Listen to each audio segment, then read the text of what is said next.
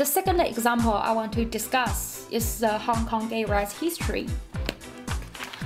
And the first one start the year 1865 to year 1991 and they focus on the struggle to decriminalize. At that time, there's no portrayals of gay people in the media, no discussion of gays, and there's no internet. All they know is they were different from the majority. And the second phrase is from the year 1992. It focuses on the fight against discrimination and the growth to LGBT activism. The Hong Kong native Joan Lam established the Dim Sum magazine, which is the first gay magazine in Hong Kong history.